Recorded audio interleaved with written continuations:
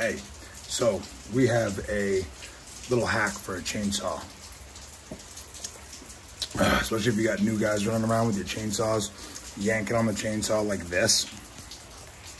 Instead of pulling straight out, you know, see that little grommet right here? Instead of pulling straight through that, you know, to increase the longevity of your cord, you get guys that are doing crazy stuff like yanking it straight to the side like this all the time. Well, what happens when you when you do that? Uh, you guys you guys have all yanked the cord way too hard before, um, and it's snapped. Not just pulled out of the pulley, but snapped on the cord. What I do is I get a little bit of um, beeswax. This is for hair.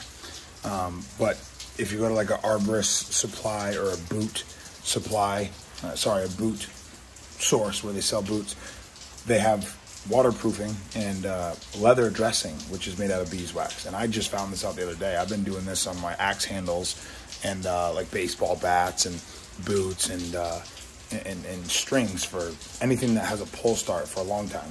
What you do is this.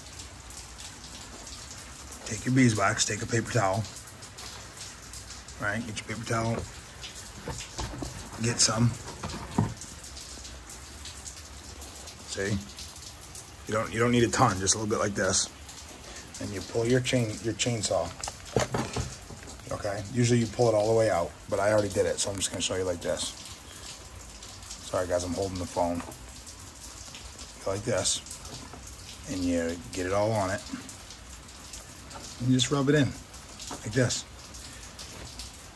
Because remember guys, chainsaws chainsaws are hot inside. Okay? And look, it kind of, it lubes up that hole, right? Keep the comments to your, keep the adult comments to yourself, guys. I like to have uh, kids watch this channel too. So see, it kind of just dresses the cord and keeps it from drying out. So that's what I do. Oh, by the way, guys, this is a little Echo, I think 2511T or something like that knockoff. Um, it's made me thousands and thousands of dollars so far. Um, it came with a little 10 inch bar, uh, which is right here. Let me show you. Oh, my, my rigging's getting wet. No.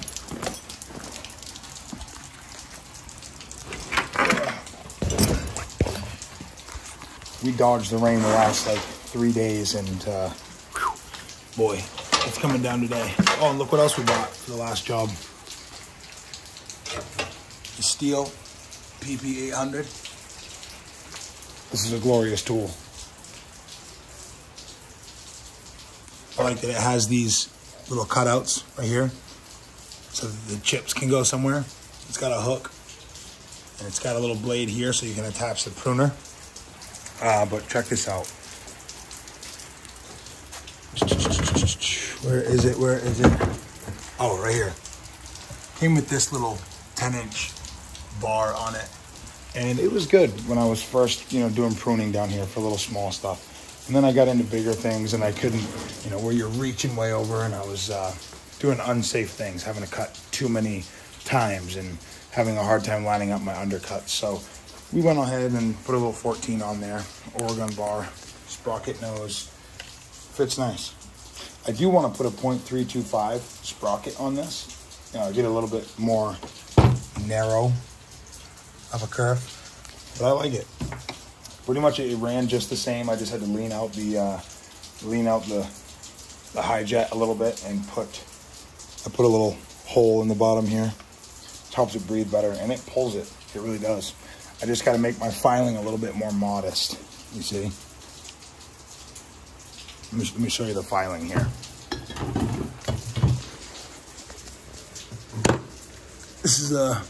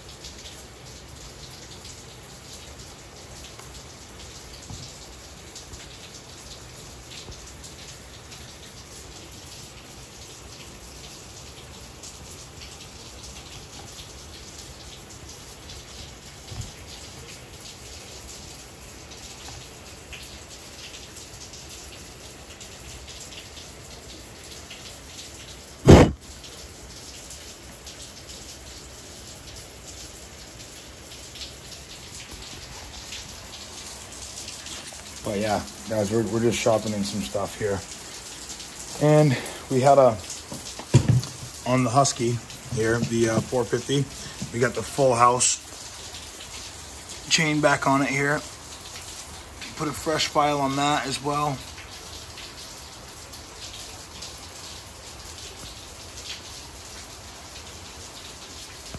Sorry about the camera, guys. I'm trying trying to film in a different different way here. Um, because we had we got Kyle running a power saw and uh, he was doing some some rookie stuff. Uh, but he's learning very fast, way faster than any guy I've ever had help me on trees. But he was using this skip tooth here, and now he turned it into a really skip tooth. We get a tooth, we get a tooth, no tooth, raker, no tooth, raker, tooth. but he was hitting the ground with that, so we had to pull we had to pull that right off. Um, his filing was good. His first filing was good. It just didn't stay sharp for very long. Um, it started to produce sawdust, and uh, that's annoying. You guys know you get it floating around everywhere. And but um, the 660, I call it Old Blue, has been a dream. Let's check out this filing here. It's been a dream so far. I barely have two tanks run through it, so I haven't even really poured it haven't really even been too hard on it yet.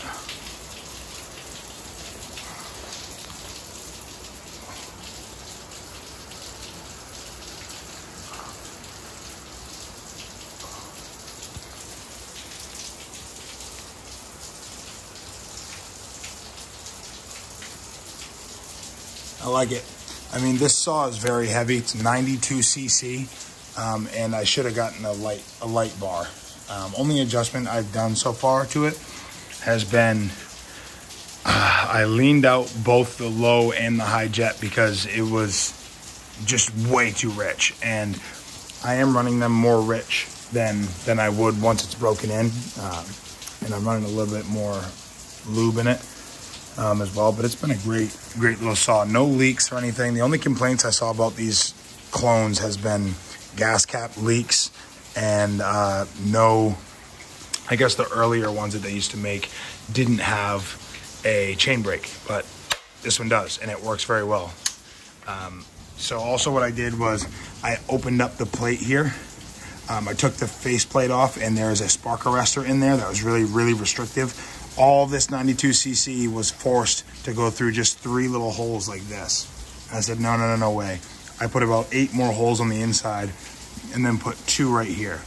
And uh, after every hole that I made, I put it back on and did a couple test cuts. And uh, it, it, kept cutting better and better and better. And I had to just keep on, um, you know, adjusting the carburetor. But it's it's a beaut. I love it. This saw is great. And I love not having a uh, primer. It's amazing. I hate primers. You gotta always have some on backup because they uh, you know, they start leaking. And once they leak, then you get air in your line and it doesn't run very well. I've just been running the uh, Pro Select Lowe's or whatever brand of, of, of bar oil it works really good. My gaffs, my tree gaffs are just the cheap old Evoke um, climbing spurs. They're really getting worn out. Um, I've had to file them a, a few times. I've done about a mile and a half on concrete. um, my ropes, as far as my rigging goes, I just bought this the other day. This is just a little cheap little saddle here with a with a bridge on it. I, I got that because the other day we were doing a tree that was leaning over a house like this and there was nothing to rig to above it to tie myself in. So I had to tie myself in really far away so I was lanyarding up this tree, right? Leaning forward like this, lanyarding on the tree, and I was slipping left and right. So I put that belt on backwards with the bridge on the back. And I tied myself to something back there, so I had a little bit of pullback. I could have hooked to the bridge in the front, but I don't like having that pulling that that horizontally back on me. So that worked really nice. I had some good balance that way. Um, I just have this DeWalt bag for my uh, for my you know blocks and my pulleys and singing rope wrenches and all my um, hitch cords, um, wire core lanyard, mechanical prusik or whatever you want to call it. Um, some more rig and rope, nine or eight nine millimeter. Um, this is my 15 foot lanyard. I use that, you know, when I'm not climbing off a lifeline. It's really really handy. Um, this rope right here we bought just to rig some. It's not rated or anything like that. I think it's boat rope. Um, we bought this rope from, uh, I believe, Northern Tool. No, no. What was it? We bought that rope off of. Oh, it was. Dang. No, it wasn't Northern Tool. It's the other cheap one. Harbor Freight. Yeah, we bought this rope off Harbor Freight. It was rated for 275 pounds. It is 18 wide, 18 cords inside with double braid on the outside. I bought it for $50. I've pulled trees over with this thing from with the hooked up to the truck. Um, I'll put the video in there. Big limbs, running along bark. I put it through carabiners. I put it through pulleys. This thing is tough. Um, this is my climbing rope, 12 millimeter. Um, it's more like 10. I think they lied. Here's a, the first harness I ever had. It's like rock climbing. It's got a single, it's got D, two Ds on the side. It's got a single, single middle point, no bridge. I hate that. Um, I use suspenders with my climbing gear. Let me show you this.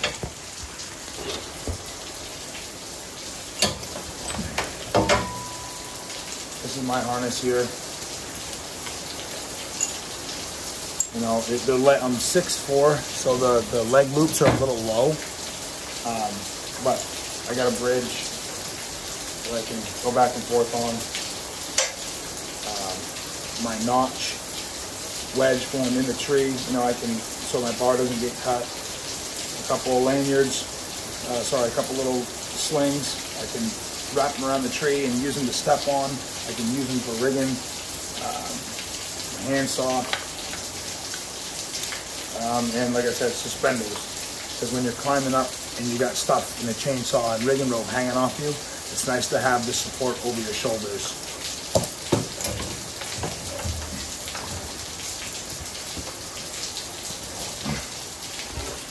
But yeah, guys, I just figured it's a rainy day. I figured I would uh, make a quick video, show you guys what some of my things are. If you guys want to see some more detail of uh, tree work stuff, go ahead and uh, put it in the comments. I'll go over how I actually, um, how I climb. But I hope you guys are taking care of your families. I hope you're taking care of yourself.